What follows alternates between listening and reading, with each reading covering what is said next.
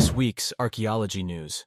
In the mountains of Jalapão, Brazil, in the state of Tocantins, archaeologists have found 16 new archaeological sites featuring rock art. They mostly found engravings, but some of the sites also include ancient paintings. The oldest examples are estimated to be around 2,000 years old. Human habitation of the area dates back as much as 12,000 years.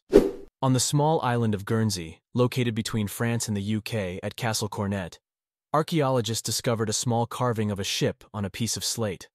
The carving is 4.7 inches long and is estimated to be around 500 years old. In Agrigento, Sicily, archaeologists uncovered an ancient statue of the Greek titan Atlas at the ruins of the Temple of Zeus. The temple was once part of the ancient city of Akragas. It's believed that the sculpture was one of 38 other statues lining the rim of the temple, posed as if it were propping up the roof. The Titan Atlas is known for holding the heavens on its shoulders. The statue is estimated to be around 2,500 years old.